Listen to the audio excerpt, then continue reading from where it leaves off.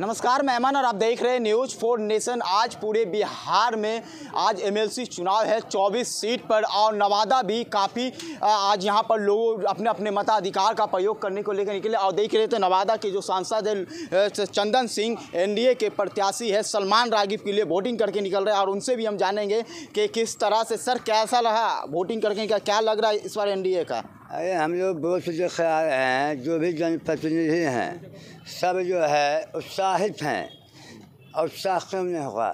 बिहार में जिस तरह विकास की गंगा बही है, देश में जिस तरह से विकास हुआ है तो सभी जनप्रतिनिधि जो है उत्सुक हैं और एन डी ए गठबंधन के नेतृत्व में एन डी ए गठबंधन में नीतीश जी के, आदरणीय नीतीश कुमार जी के नेतृत्व में पूर्ण मोहम्मद एन जी ओ को मिलने जा रहा है चौबीस में से चौबीस सौ सीट बिहार में हम लोग का होने जा रहा है और नवादा में जिस तरह से जनप्रतिनिधि हमारे उत्साहित हैं मैं आपको वादे के साथ दावे के साथ कह मैं आपको दावे के साथ कह सकता हूँ कि बिहार में सबसे अधिक मत से नवादा से कैंडिडेट सलमान रागे साहब तीन नंबर जीतने जा रहे हैं। आप देख रहे थे किस तरह से संसद ने कहा था एनडीए मज़बूत है और 24 सीटों पे एनडीए मजबूती के साथ करा है और एनडीए की विजय होगी। नवादा की अगर बात करें तो नवादा में एनडीए की प्रत्याशी सलमान रागिब है और यहाँ पर उनको वोट करने के लिए नवादा के संसद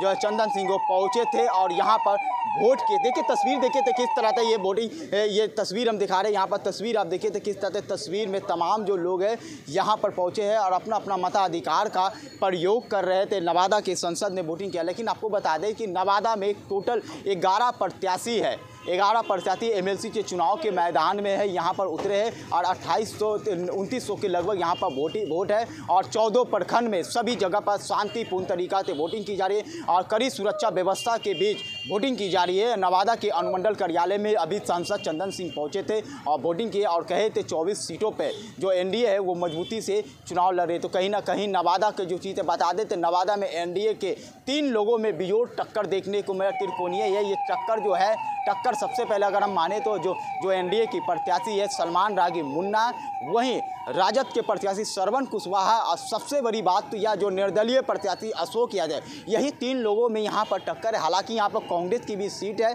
लेकिन कांग्रेस की उस तरह तक टक्कर नहीं है जितना टक्कर ये तीनों प्रत्याशी में देखने को मिल रहा है। और अभी अभी चंदन सिंह ने यहाँ से वोटिंग किया और तमाम जो नवादा की विधायक भी यहाँ पर पहुँचेगी और लगातार यहाँ पर जो लोग वोटिंग करने आए, सभी लोग लगातार वोटिंग अपने कतार में खड़ा होते और अपना मताधिकार का प्रयोग कर रहे हैं, मत पेटी में लोग डाल रहे हैं। और लोगों तो पहले से ही बताया गया था तो यहाँ पर मत पेटी में कैसे वोटिंग करना है, क्या करना से। तो नवादा जिला प्रशासन की ओर से कड़ी सुरक्षा व्यवस्था भी हर जगह पर किया गया। नवादा से न्यूज़ फॉर नेशन के लिए अमन की रिपोर्ट।